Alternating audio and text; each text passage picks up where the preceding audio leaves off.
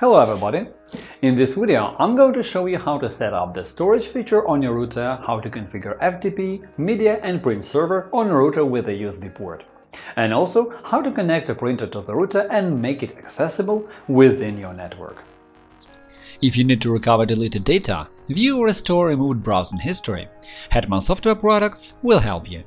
Follow the link in the description, download the necessary program for free, install it and analyze the disk.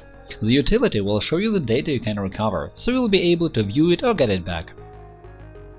In our channel and blog you will find solutions to any problem, from installing an operating system or configuring it to fixing possible bugs and errors or optimizing mobile gadgets.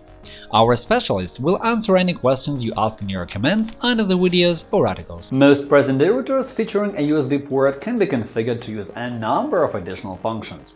For example, by connecting an external storage, for example a hard disk, you can build your own server to keep videos, photos and other files. By configuring the storage sharing feature, you will be able to access the files on such disk from any computer or mobile device within your network. And when you connect a printer to your router, any device within this network will be able to print out documents. Such connection lets you print from any device connected by Wi-Fi and sparing you the efforts of untangling all those wires and cables. Let's begin with storage sharing and configuring an FTP server. For starters, find out if your router has a USB port. If it does, you can move on to configure an FTP server and arrange access from the local network and Internet to files inside the local storage device.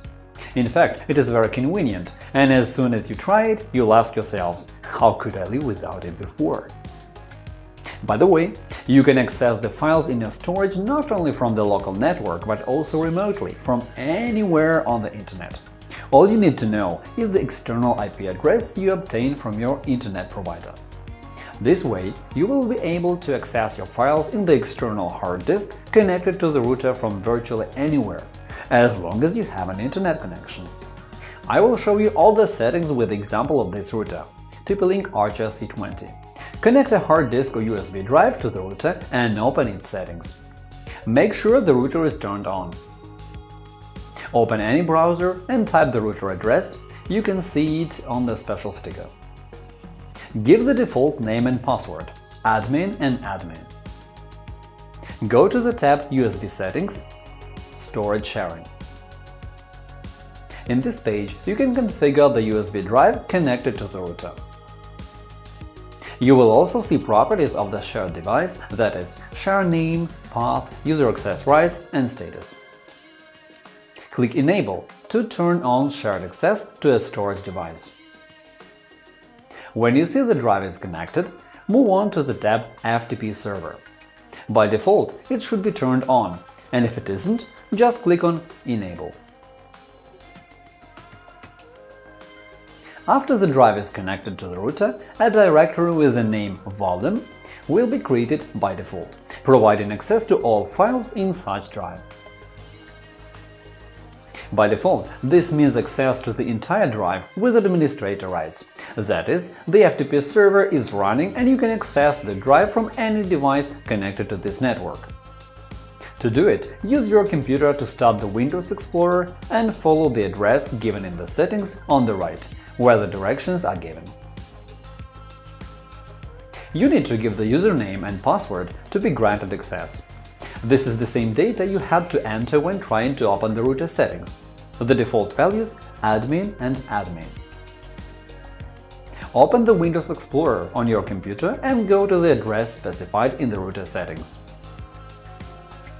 If the address is correct, you will be requested to enter the username and password. When you log in successfully, you will see the files stored on this USB drive or external hard disk connected to the router. All these files will be displayed in the Volume folder.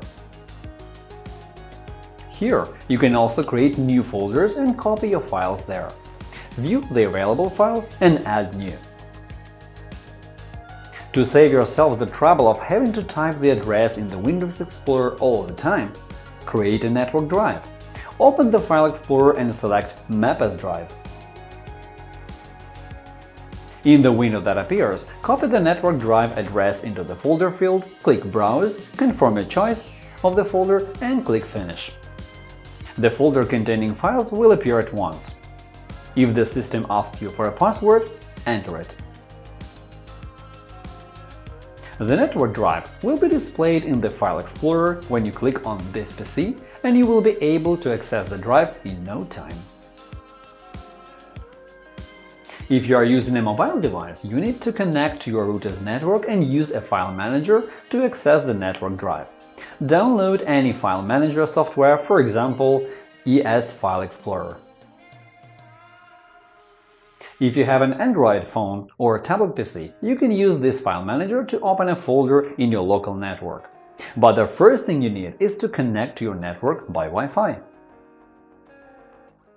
After that, install the application from Google Play Store. Start the application, open the menu, go to Network, LAN, and you will see the network address of the folder. Tap on it, and you will see the volume folder with all of its files. If you go to LAN and there is nothing to display, tap Scan, and all network devices within this network should appear. Now just select the device you want to connect to. You may see a window asking you for the login and password to proceed with connecting. Now you can do many things right from your phone – view, delete and copy new files, create new folders, and so on. The following settings are not obligatory and you only need them if you want to set up access for certain users with different access rights. First of all, several accounts can be created. For example, a guest account, which cannot have full access to the drive, but only to a specific folder and with certain rights only. With read-only access, such account will not be permitted to modify files. For starters, let's create a user. In the router settings, open the tab USB Settings, User Accounts. The default user account is admin. In order to create a new one, fill in the fields below. Choose an index for the new user, give a username, enter the password and then re-enter it for confirmation. Click Set and the new user will appear in this table. You can also enable, disable, delete or edit a user account. Now let's go back to the tab FTP Server. In this tab, you will see a table which contains, by default, one network storage volume. This way, access is permitted to the entire drive, that is, its root folder. If you want, you can create one more folder access to which would be granted to a particular user or group of users with certain rights. Otherwise, you can modify access rights to the entire storage device for a certain user account. Let us create one more shared item by selecting Add new folder. In the field Share name, type the folder name and click Browse. Select your drive and specify the necessary folder. Please note that you cannot select a folder if its name is given in letters other than Latin. If that's your case, you will have to rename it. After you have chosen the folder, you can configure authorization access for a certain user account. Check the necessary options in the table next to the user account name. You have three variants to choose from – Full access, Read-only, No access. Then click Apply. The chosen folder will appear in the table and you can see access rights from every user account. You can configure the user access to each folder by clicking the Edit button. Media Server. In this page, you can configure the media server. To do that, plug an external USB hard disk drive or USB flash drive into the router. Click the Enable button to start the media server. Click the Add New Folder button to specify a folder as the search path of media server. Then click the Browse button to select the folder to share and click Apply. The folder will appear in the table where you can add it or delete it. You can also choose Auto Scan and set the interval for automatic scanning here in this drop-down list. If you do it, the media server will search shared folders automatically. When you create a shared folder, you can visit this page to see its name, file system type, path, and delete it if necessary by clicking on the corresponding button. The maximal number of shared folders is 6. If you want to share a folder and you already have 6 folders on the list, you can delete one of them and create another one. Connecting a printer to the router you can see there are settings for the print server, and it means that you can also connect a printer accessible by all devices within your network. Let's have a closer look at how to connect a printer to a router with a USB cable. This method has certain advantages over using a shared printer. The printer will be connected directly to the router, and there is no need to have a computer running all the time in order to be able to print something. To begin with, turn off the printer and the router. Plug one end of the USB cable into the printer and the other into the router. Turn the router on, and after some time turn the printer on as well. Go to the web interface of your router, open the tab USB Settings, Print Server, to check if the connected printer is displayed here. The server status should be online, and if it's offline, click Start. There might be one more issue. The router may be unable to recognize your printer properly. In this case, consult the user manual for the router. Your printer model might not be supported. Uh, however, you will still have some options to try. Most likely, updating the router's firmware could help you. You can watch one of our videos to see how to do it properly, and you can find the link in the description.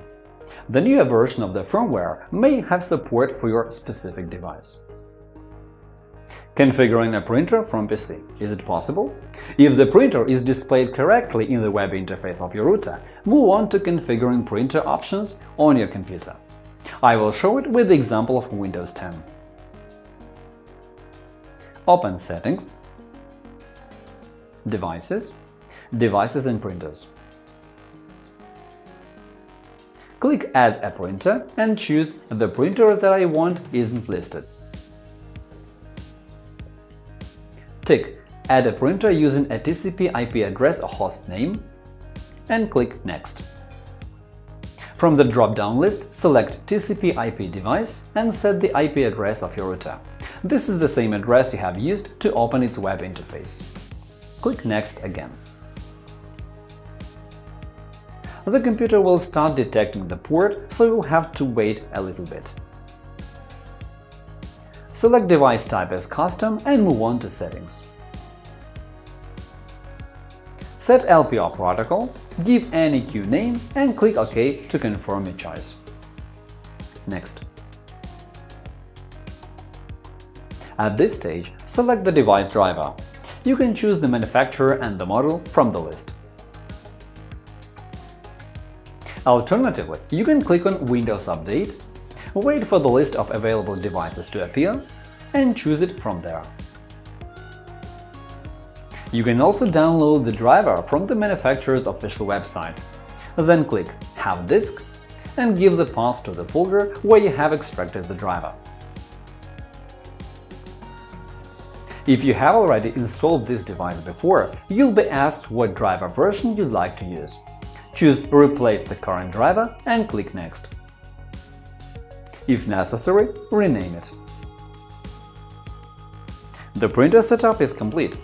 When you see the message that you have successfully added the printer, print a test page.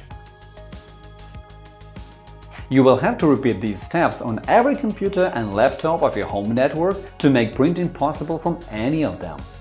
If this method doesn't work and you can't connect the printer or there are errors while printing the test page, try downloading a special utility. USB printer controller. Go to the official website of your router and choose Support Download Center. Specify your router model and choose its hardware version.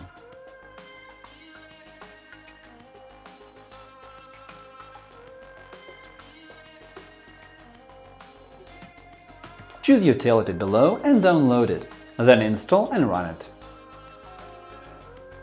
In the Programs window, you will see your router and the printer.